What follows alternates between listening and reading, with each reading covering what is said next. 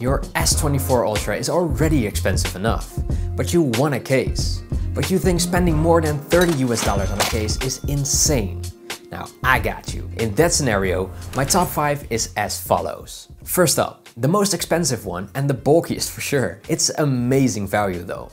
This one is actually one of my favorites, with or without budget. The Supcase UB Mag XT. This bulky yet sleek feeling case will protect your S24 Ultra for sure, and not only in the traditional ways.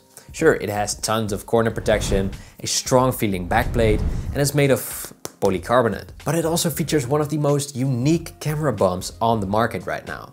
This zinc alloy camera bump protection plate can be opened fully to make use of the camera, but of course it can stay like that too, because the hinge is a proper one. But when you're done and you want to maximize the protection level, just close this vault door, which by the way has a soft inner lining to avoid scratches and even a click at the end to ensure it's closed. This does not only look fantastic, it works like a charm. And like I said, the case has very good corner protection, but they made it with a slim side profile, which is excellent for holding the phone and along with that, very comfortable clicky buttons. Which aren't huge, like most other cases with this design. Very aggressive front protection too, which is mostly present at the top and bottom. But we'll make sure your screen is not breaking anytime soon. And of course, with MagSafe magnets, which are actually very decent. Just make sure the MagSafe accessories aren't too big though, since the camera bump will then push them off the magnets. But with most accessories, this isn't an issue. And at only $26.99, this one is more than great value. Awesome case. Next up, the Spigen Neo Hybrid. I really like this case, but there is always so many choices. I feel like it's absolutely the perfect case for this list though. And with its price at only $21.99, it's amazing value too.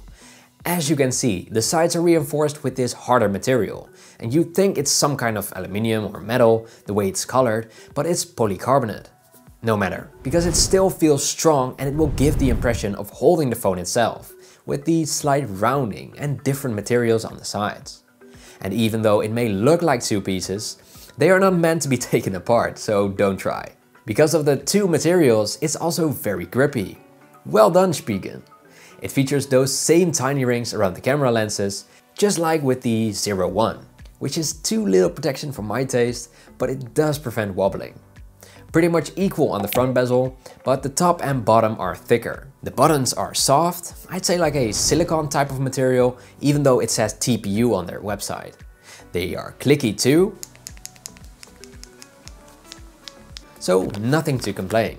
Solid case. And even though it may require a little readjusting if you put this case on for the first time, it's still really easy. Caseology has a few choices which are all really good, but their Athlex case is one of my favorites.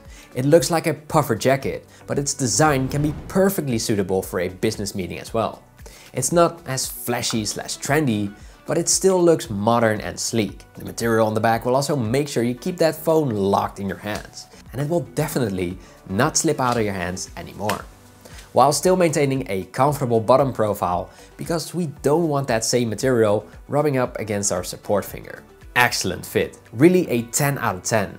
The camera bump is perfectly flush, but there is a small difference in height around the camera. Still, not much of camera protection present here, so this could be the only downside.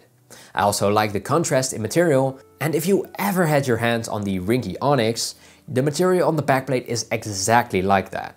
Grippier than normal plastic and a little rough. The sides are even rougher and in combination with the unique shape on the sides make for an excellent grip. A mix between Caudabe and dbrand as far as material goes. Very affordable too at only $15.99. You cannot go wrong with these. The USB-C port cutout is big enough to accommodate third-party cables and the buttons are very clicky too. It has a small front bezel though, and I would love for it to be just so slightly bigger. On the front, no edges of the titanium are visible, and it looks good because of it. On the inside, it almost looks as if it features MagSafe, but it's not MagSafe. It's just padding and design. Looks great though. Spigen has one more up its sleeves. This very thin, but still protective case is awesome. It doesn't feature MagSafe, but if you don't really care about that, this is an excellent choice. The material is also very comfortable. Grippy enough, yet not annoyingly over-textured to achieve it. Matter of fact, it's as smooth as silk. I called it the tailored suit for your phone back then, and it still holds true. I just wanted a bigger camera bump on this one. And sadly, they've chosen the same micro rings to protect that set of lenses. That's its only downside though. Very clicky buttons, good cutouts, and the front bezel is more than enough, especially for a minimalist case. It does only swell up at the top and bottom, so it's not as high on the sides. The fit is very good too, and all that for the amazing price of $16.99. Whoa, amazing value. Imagine that, $16.99. Some screen protectors are more expensive. Of course, Ringke belongs in this list as well. I featured the Fusion Bolt in my other top 5 video, and that's not without reason. Yet here, I think the Fusion X is more accurate since this one has so much protection as well as a thought out design which is available with and without MagSafe, so you can even choose this by yourself. It looks very good while doing it and it features very clicky buttons. Awesome camera bump as well, a lot of protection here too, and it even features those bumpers on the other side to even out the bigger camera bump, so that it doesn't wiggle as much on the table. These very same corners are really hard, and they are present on each corner, making this one one of the best value cases there is. It's also slimmed down at the sides, has a grippy texture and profile, so what more is there to say? Awesome choice. Now I'm still working on my tier list video, which will rank all cases I've seen so far.